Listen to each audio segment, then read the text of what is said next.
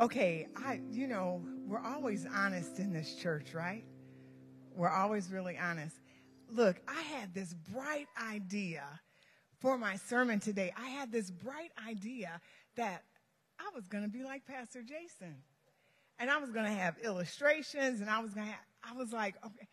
But now I'm nervous. So I just want y'all to know I'm nervous. I hope this works out.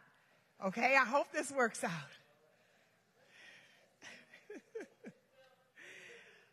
oh, hallelujah. Um, well, I am actually honored to stand here before you today and uh, praise God uh, that I am able to bring you an encouraging word.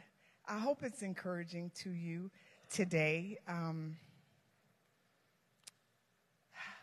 I uh, pray with the DMI pastors uh, on the first and third Fridays, and uh,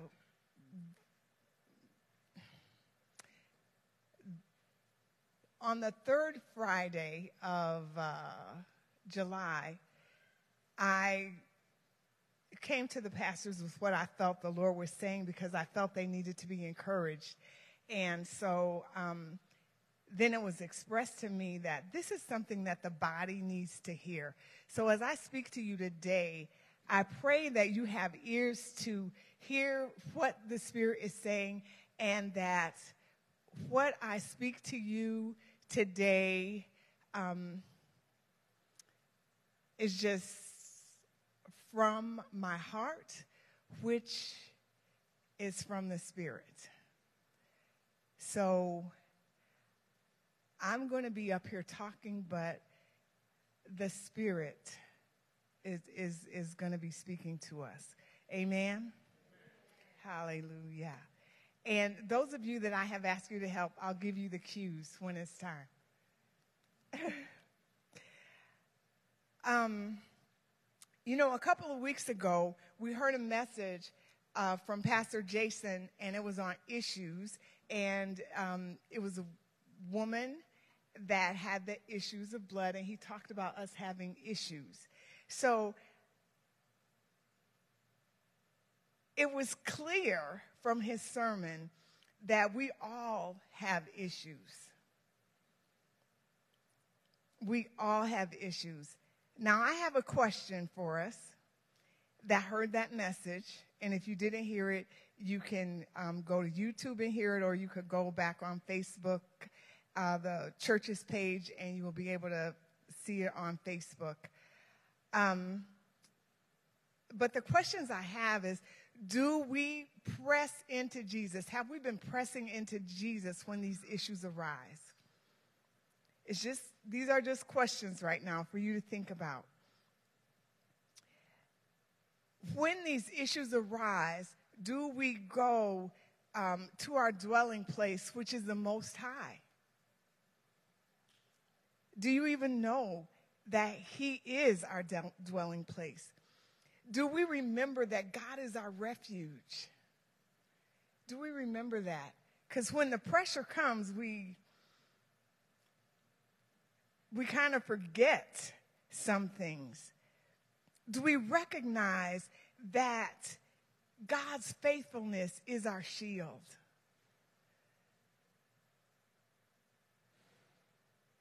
do we run to God as our fortress?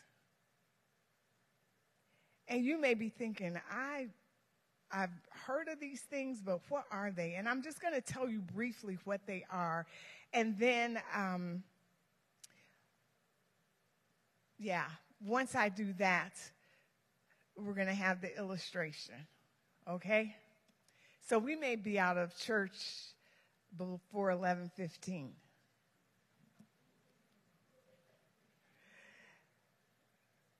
I hope you don't put your hopes in that.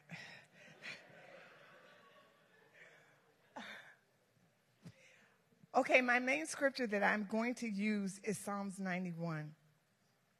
And it says, He who dwells in the shelter of the Most High will abide in the shadow of the Almighty. I will say to the Lord, my refuge and my fortress, my God in whom I trust. For he, for it is he who delivers you from the snare of the trapper and from the deadly pestilence. He will cover you with his pinions, and under his wings you will seek refuge. His faithfulness is a shield and bulwark. You will not be afraid of the terror by night or of the arrow that flies by day, of the pestilence that stalks in darkness, or the destruction that lays waste at noon. A thousand may fall at your feet and 10,000 at your right hand, but it shall not approach you. And you will only look on with your eyes and see the recompense of the wicked. For you have made the Lord my refuge, even the Most High your dwelling place. No evil will befall you, nor will any plague come near your tent. For he will give his angels charge concerning you to guard you in all your ways. They will bear you up in their hands, they, that you do not strike your foot against a stone. You will tread on the lion or cobra, the young lion and the serpent will not trample. The young lion and the serpent you will trample down because he has loved me. And this is God talking now. Because he has loved me, therefore I will deliver him. I will set him high, securely on high, because he has known my name. I will set him securely on high, because he has known my name.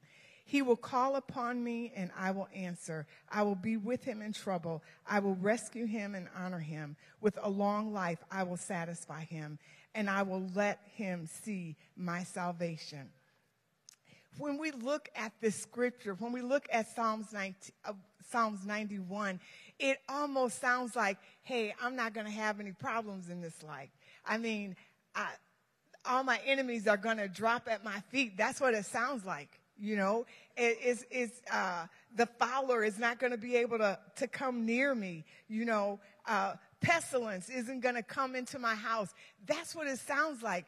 But I want to tell you, it's true. But it's a matter of how you look at it. Because the first verse tells us, He who dwells in the shelter of the Most High will abide in the shadow of the Almighty. Those things are happening all around us. I mean, we know we have issues. We, we learned that, didn't we? That we have issues. But just like that woman with the issue of blood that had pressed her way into Jesus,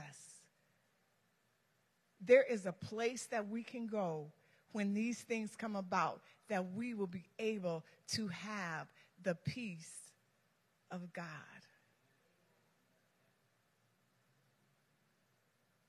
Hallelujah.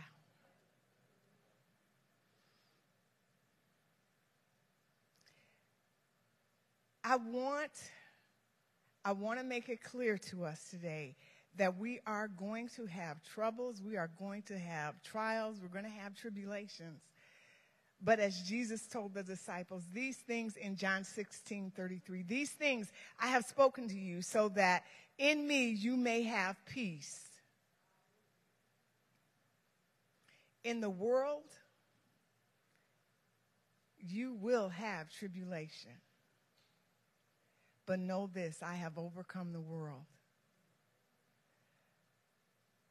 In the world, we're going to have tribulations, but we can have peace when we are in Him. Amen. And um, James 1 2 and 3. And I have to tell you, when I was going through uh, some things in my life, that I just thought were just so detrimental.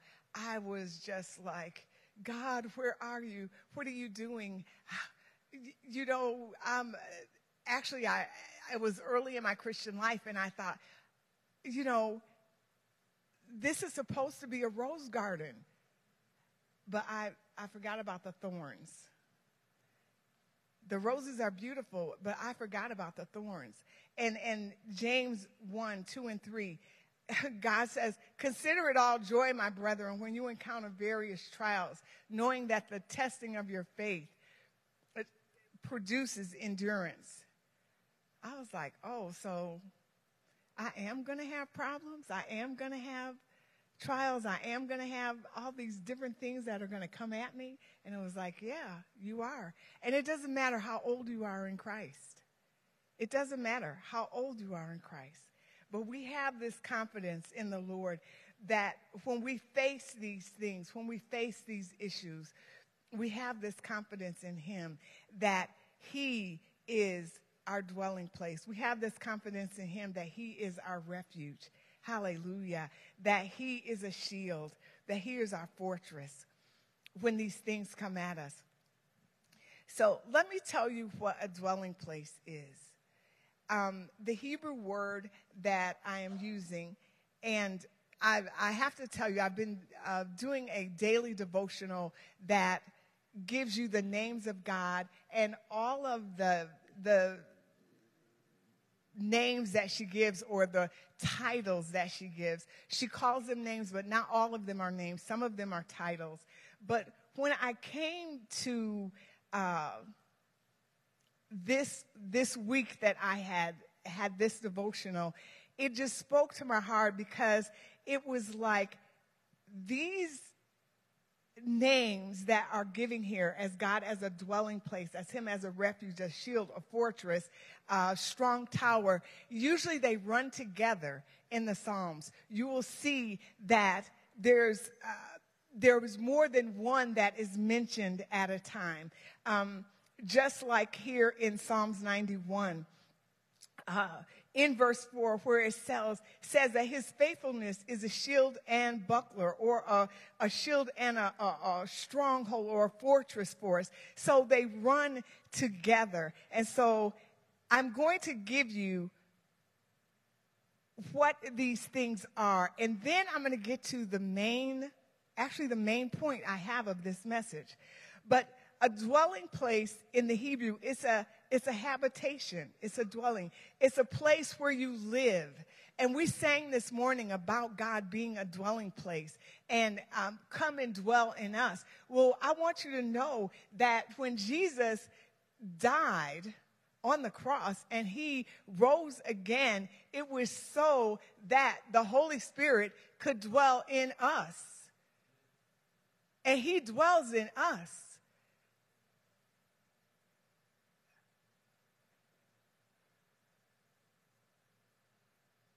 And God, that has always been God's desire. When we look in Genesis um, chapter 3, when we look in Genesis chapter 3, it has where um, it says that Adam and Eve heard the sound of the Lord moving through the garden. And this is after they had sinned, and they hid from his presence. And there are other indications in Genesis, from Genesis 1 and 2 and 3, that God's presence was always with them. They actually had fellowship with him. And I believe that Adam and Eve saw God. But because of sin, it separated us. So we don't have that opportunity to see him and live. But we have we have the opportunity to be in his presence to dwell with him and so it's like how um, how do we do that we do it as we were doing this morning through getting in that that mindset with through praise and worship. It's through prayer. It's through being in the word. It's through sitting before him. It's not always in us talk talk talking but sometimes it's in us listening. But what are you listening to? Now i say that because if you are not in the Word, you could be hearing something and it may not be God. Because you haven't learned to hear His voice. How do we learn to hear His voice? We learn to hear His voice by being in the Word of God. That's how we learn to hear His voice. By being in His Word so that we can know what He sounds like. Hallelujah. So, as we are in His Word, as we are spending time in prayer, as we are um, not just talking to Him, but we are also listening, then we, are, we can learn. We can learn how to hear His voice. Um, I've been listening. I've been listening to the book of John, and I just started chapter one, and I listened through, and I, I know I must listen to the book of John at least I, I listen to it at least a couple times a day because when I'm doing things around the house that are like mindless, that I don't have to think about and I can listen, like when you're washing dishes or folding clothes, where you would might have had the TV on or whatever, now I have the word on, okay? So, but I'm listening to the book of John, and Jesus um, is talking in John. Uh, chapter 5, I believe it is, is after he has healed the um, paralytic that had been sitting by the pool of Bethesda, and the Pharisees and the the religious leaders are upset with him, saying, You're healing on the Sabbath. And he said, I only do what I hear my father say do. And I, that just kind of jumped out at me as I was listening to it one day. It's like I only hear what my father says to do. And you think I did something now, he's going to show me some greater things to do than this. And I hear him and I do what he says. So in my in my heart of hearts, I said, God, I want to be like Jesus. I want to be like Jesus. I want to do what I hear you say do. And how do you know if he's telling you to do something if you're not in his word and you don't know what his voice sounds like? You know, I, I, um, I had planned on going to um, my family reunion. It happens every two years and every other two years. It goes back to where I'm originally from, which is where most of my relatives are in Chattanooga, Tennessee. Well, this year, guess where the family reunion was? After not having it for four years because of COVID and so forth, it's in Chattanooga and I want to go. I am like, I, my kids will tell you, I'm a, okay, guys, we need to go to family reunion. They're like, Mom, you, mm. Mom, these relatives are so distant. They're not even relatives. I was like, yes, they are because I know where they came from. You know, anyway, but I'm like, I want to go to this reunion, and I wasn't really feeling peace. And this is after I had been praying, God, I only want to do what you want me to do. I was like, okay. I even got somebody to go with me because my kids weren't going to go with me. So I asked them, I said, will you go with me? And not only did they say yes, I said, will you drive? They were like, yeah. I was like, okay, yes, you know. So I, I sent the money in to pay for the reunion and I still, I was like, I really didn't have peace, but I was like, I'll get over this. It'll be okay. You know, I, I was packing. We were supposed to leave like that Wednesday, and I was packing on that Monday, and it was like I did not have peace. So I had to send a message to my cousins to tell them, I'm not coming. I'm, I'm not coming. I, I didn't have peace. And I believe that God was God was speaking to me in that way uh, of me it not being something that I was settled with, that I couldn't do just and be like, I wanted to go. It's, I wanted to. More than anything, I haven't seen these people for the longest time. But it was like, no. So I was like, well, I just gave away that money. That's what I'm thinking. I just gave away that money because it's like four days before the reunion is supposed to start. I know I'm not getting a refund. Not that they said that you would or wouldn't. But anyway, um, sent them a message, told them I wouldn't. And why a week later I got a refund? I was just like, oh, okay, that was pretty good, you know? I was like, God, yes. um, you know, but I had peace how often do we do things that we haven't really heard heard from God on it and we, we regret because we didn't really pray or seek him or, or go, go into his presence to find out is this something I need to do? I know it's only happened to me. It hasn't happened to anybody else. I know that. So, but we have God as our dwelling place, and we go into this place. It's, it's also called a secret place uh, that we can we can go into um, with Him. And when we go into this place, we find that He is a refuge for us.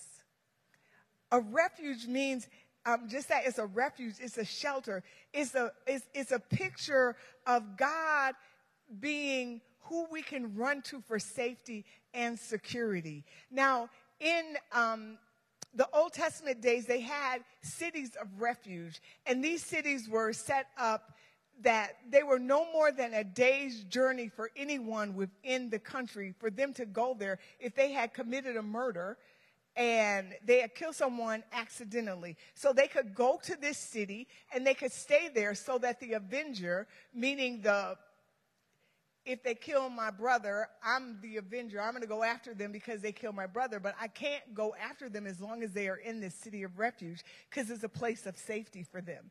And so the word is showing us this is who God is for us. He is that refuge, but you don't know him that as that if you haven't been through anything really, if you're not running from anything really, right? Um, when we, uh,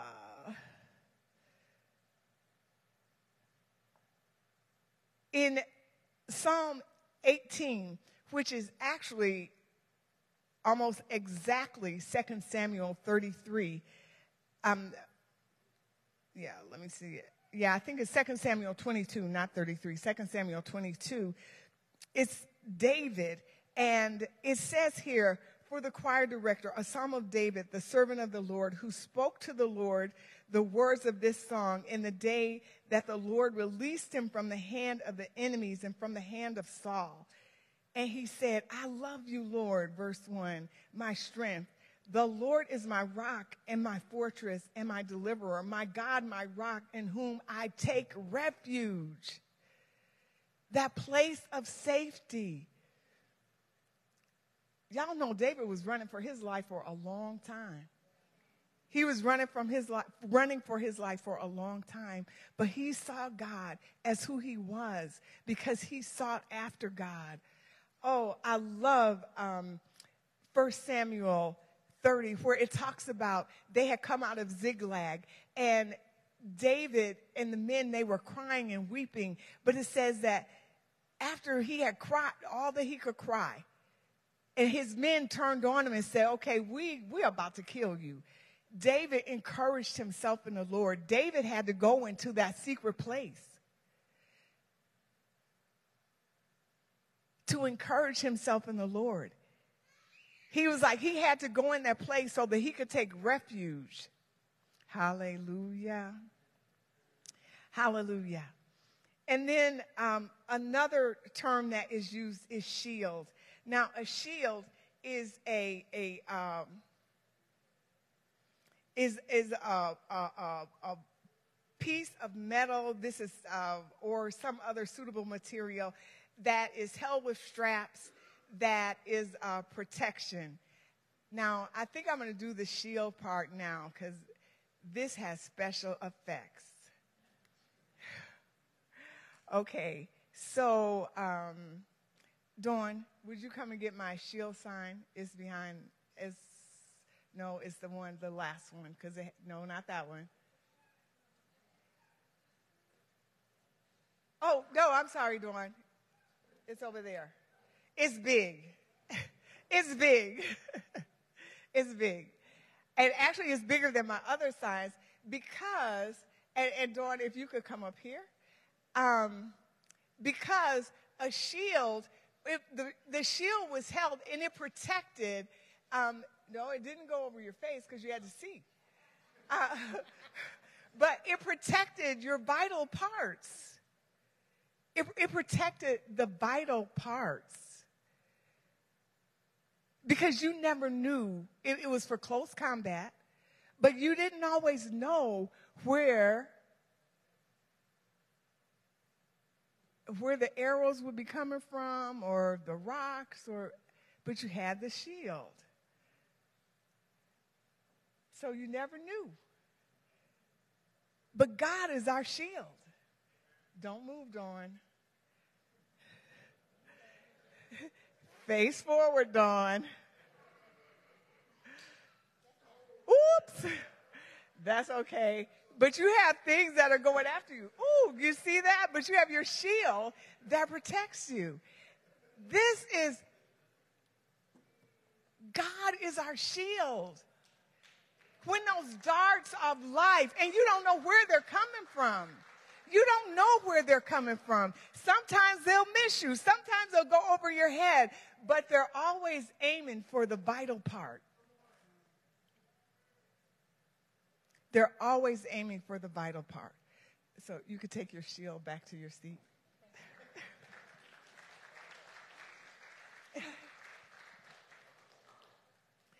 So that is the shield. Could you give me the fortress one?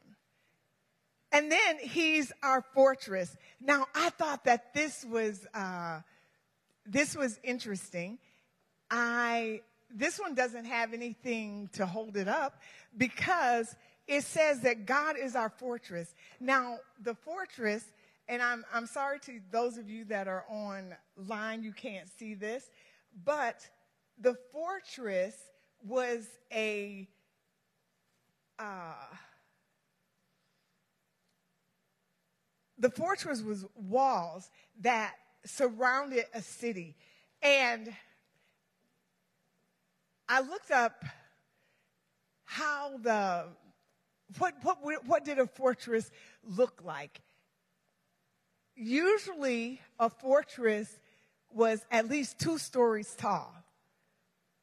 But I think the thing about the fortress that was most interesting to me was that the fortress would be like eight feet deep. So it could be, actually, it could be 60 feet tall which I have no idea how tall that is, but I know it's not 60 feet. But it's a good example for you to see how, how big it is, like compared to a person. And you could go behind the fortress, you'd be in your fortress, and you would be protected. And, and the fortress was like impenetrable. Did I say that word right? Thank you. Impenetrable. Yes. And that's what God is for us. He is a fortress. He is our fortress.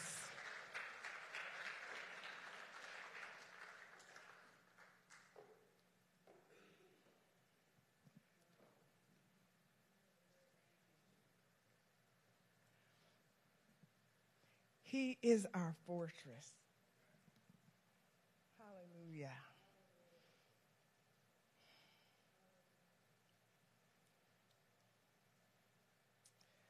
Ah.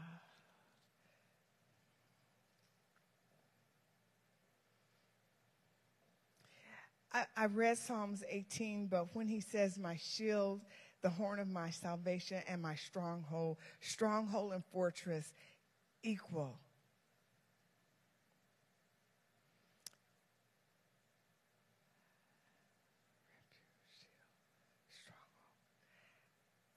So that's who God is. He's our, the presence. We need to dwell in his presence. Hallelujah. Jeremy, could you come now? I want you to grab the. No, he's going to grab the sheet. He's big.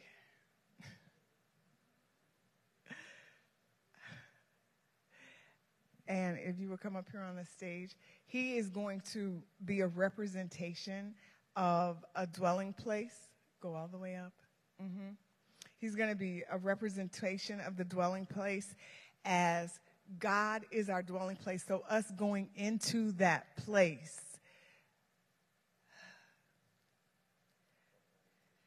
Yeah.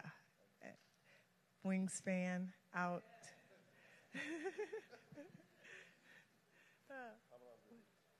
Back.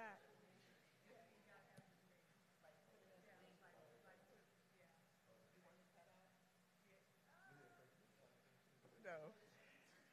no. I'm sorry. I, we should have had stage practice first, huh? when you have props, you need to practice, right?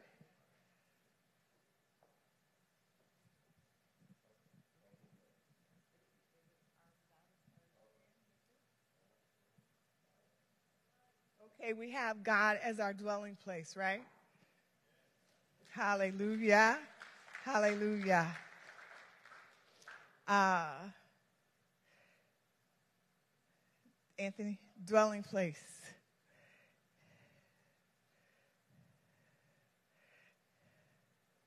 God is our dwelling place.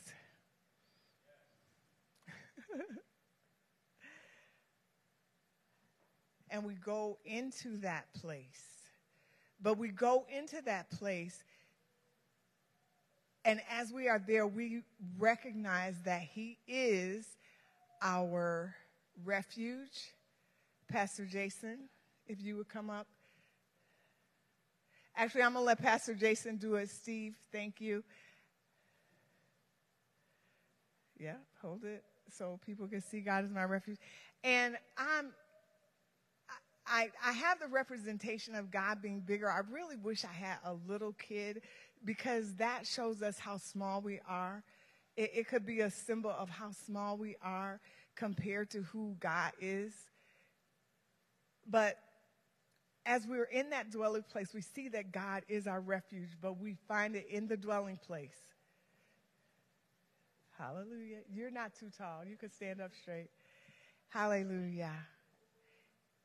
He's our fortress.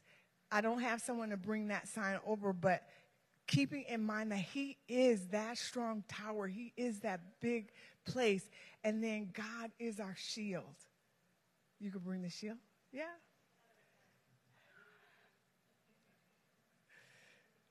Uh huh. All the way up. And I'm having them do this in this way because we find him as these things as we are in his dwelling place. We're not going to find them outside of this place. Us being in the hiding place, hiding in him, that's where we're going to find our help. That's where we're going to find our shield. That's where we're going to find our refuge, that place of safety to keep us from our enemies. It's, it's in that place that we're going to find him as our fortress, a strong tower that's impenetrable. That's where we're going to find him. Hallelujah. Thank you all.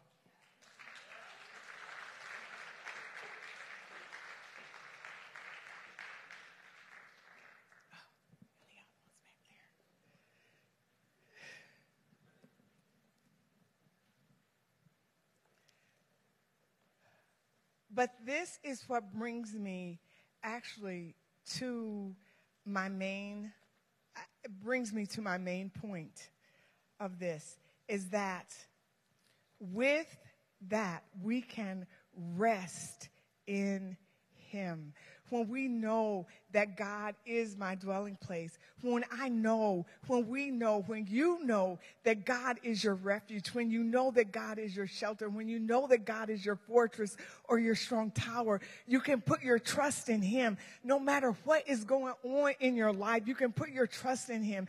And then we can rest in Him in the assurance that no matter what comes, we don't have to fear because God is with us. Hallelujah. Hallelujah. Hallelujah. Now, um, in Psalms 62,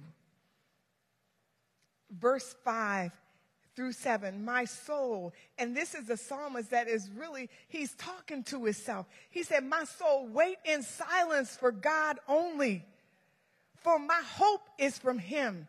He only is my rock and salvation, my stronghold. I will not be shaken. Now, I, what I should have also done is brought the lawn chair. I should have brought the lawn chair so I could show you how it's like just rest in Him. Rest in Him. Sit back. Relax.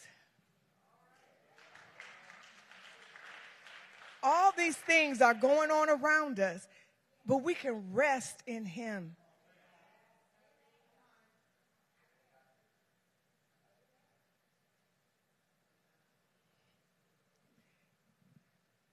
we can rest in him because he is our fortress. Psalm 62, 1, 1 and 2, it says, My soul waits in silence for God only. From him is my salvation. He only is my rock and my salvation, my stronghold. I shall not be greatly shaken. Hallelujah.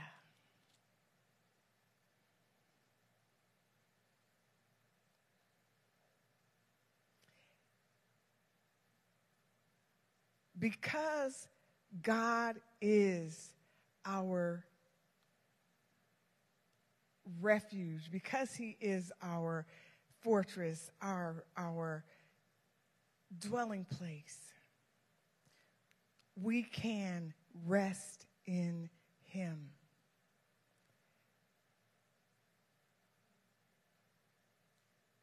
I hope that this encourages you because life is not easy. And it's not going to get any easier. So we, we want to be able to stand. And having done all to stand, that we can stand firm because we have assurance in a firm foundation. The Almighty God he is the rock of our salvation.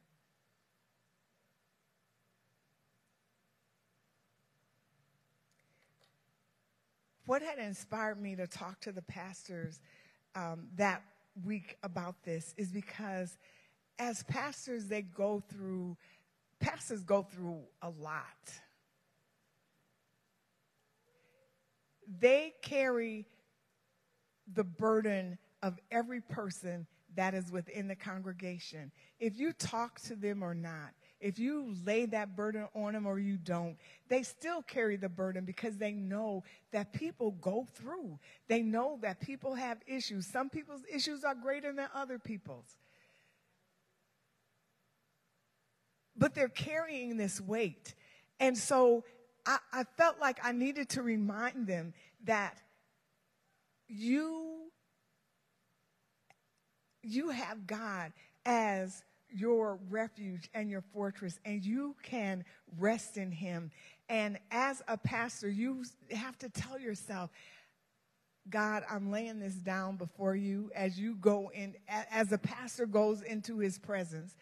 I'm laying this down before you, Lord.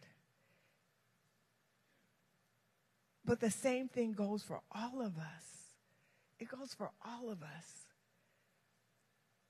Who in here? There may be some pe- people in here that have no problems, but if you're in here and there is everything is peachy cream, you have a rose garden without thorns on the bush. Any is there anybody in here like that? Is there anybody? Is there anybody in here that is like, you know, things are great? Because even if you have all the money you need, it's something else that's happening. Your kids acting crazy. The people on your job is acting crazy.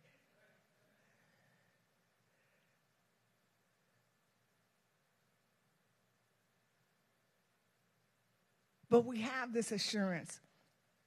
I believe that Psalms 91 is our assurance that no matter what happens, God is always with us. God is always with us. When we are dwelling in the shelter of the Most High, we will abide in the shadow of the Almighty. And we can say without a shadow of a doubt, my refuge, my fortress, my God whom I trust. That's who he is, and that's why you can rest in him because you trust him.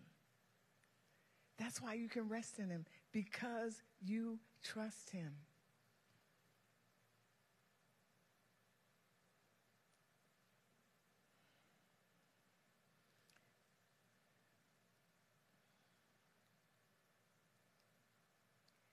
Um, there's a song by MercyMe that uh, I didn't even know the song until someone that was dear to my heart was um, in the process of of actually dying of cancer and really like suffering in the the depths of it all. But um, this song, it um, I, I don't have the words exactly, but it was saying, no, there are, you know, when things are going good, we're great, but you know, things don't look good right now. Things aren't looking good right now in my life. But I'm going to trust you anyway, God. Even though things aren't looking good, I'm going to trust you. And I'm telling you, that's how the person lived their life. For I had never seen someone that was that strong.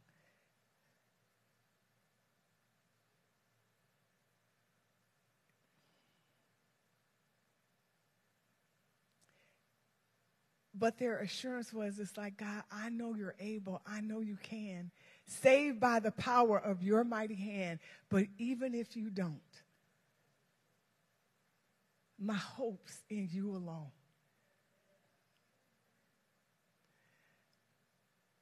Can we say that? And the only reason that she could say it is because she knew him, because she had spent time in the secret place.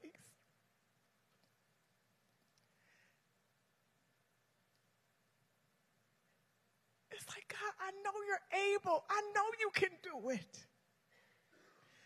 But even if you don't, my hope is still in you.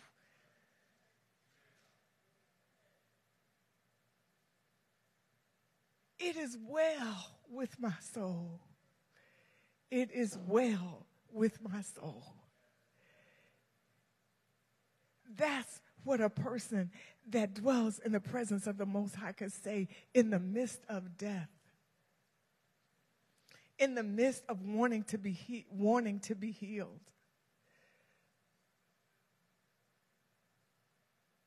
But understanding God, even if you don't, my hope is still in you because I know you're able and I know you can. no matter what you are going through right now, know that God is able. But even if He doesn't, continue to have your hope in the one that cares for you more than you care for yourself. He has a plan. And He will be glorified in that plan. Hallelujah there may be someone here today that does not know God in that way. You you don't know God as a secret place. You don't know him as as that dwelling place. You don't know him as a refuge or fortress. You don't know him as a protector because you have never asked him into your life. So I want to give you that opportunity today that if you do not know Jesus Christ as your Savior, as we did communion today, saying that He died for us, that we could have life, if you don't know Him in that way, if you have never said, God, forgive me for my sins, Jesus, come into my life, I want to give you that opportunity right now. Is there anyone here? that does not know him as Lord and Savior.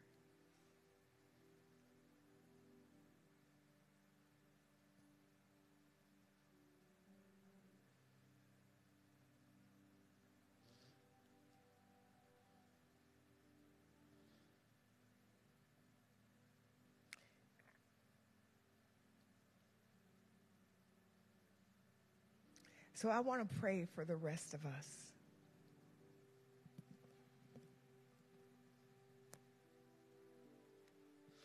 I want to pray for the rest of us according, uh, according to the scriptures that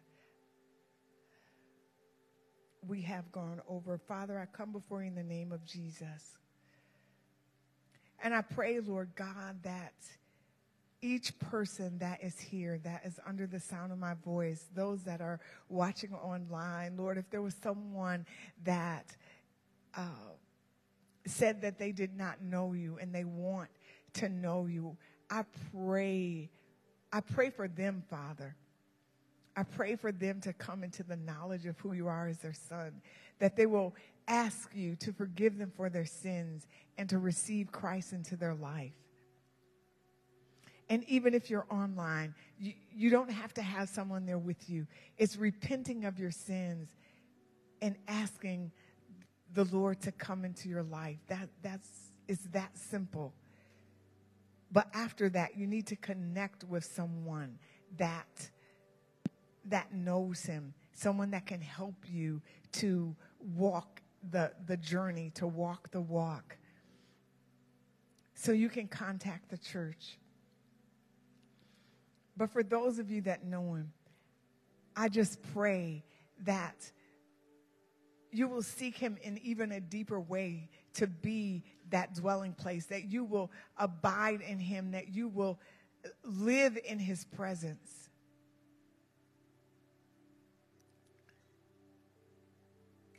that you will recognize that He is your fortress. You will recognize that you can trust Him above all else.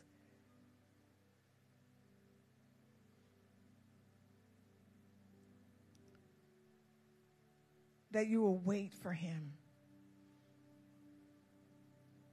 You will wait for Him. You will wait for God only. You will hope in Him. For He alone is your rock and salvation. He alone is your stronghold. It is only in him that you will not be shaken. It is only in him that you will not be shaken.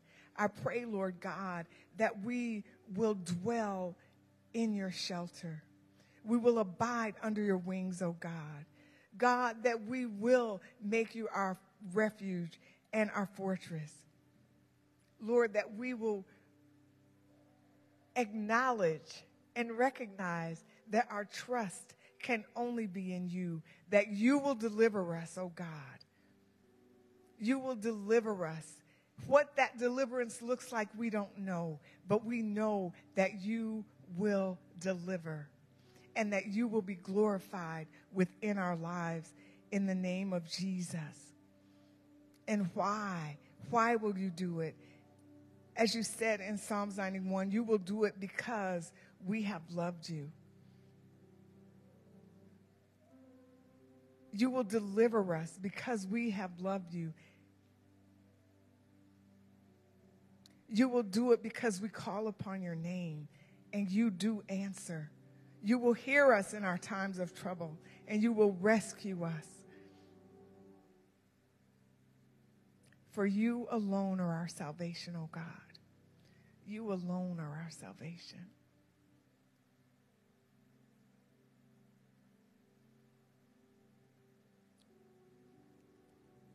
Father, I pray that we, your people, will learn how to rest in you instead of in our worries, instead of in our problems.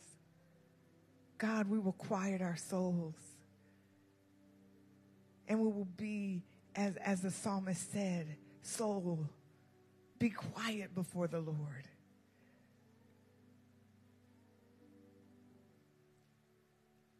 Trust in my God. And that is sometimes what we have to do. We have to talk to our souls and tell our souls what to do.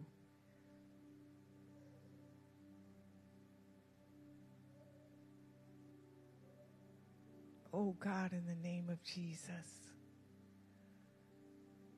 I pray that our trust will be in you no matter what our finances look like, no matter how our children are acting, no matter if our spouse is saved or, or not saved. Lord, no matter how the people on my job treat me, I will put my hope in you. God, no matter how much doubt tries to come, I will trust in you. No matter how fear tries to overtake me, I will trust in you.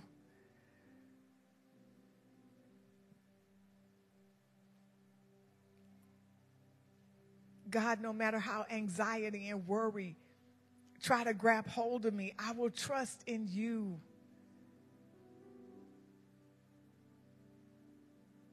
God, I will trust you for the salvation of, of my family. I will trust you.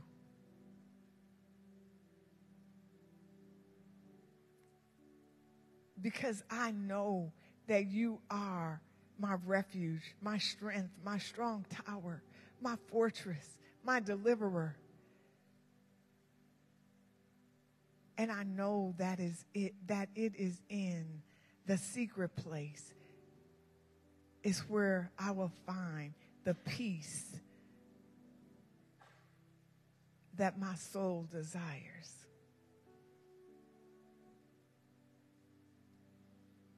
Oh God, in the name of Jesus. In the name of Jesus. Amen and amen.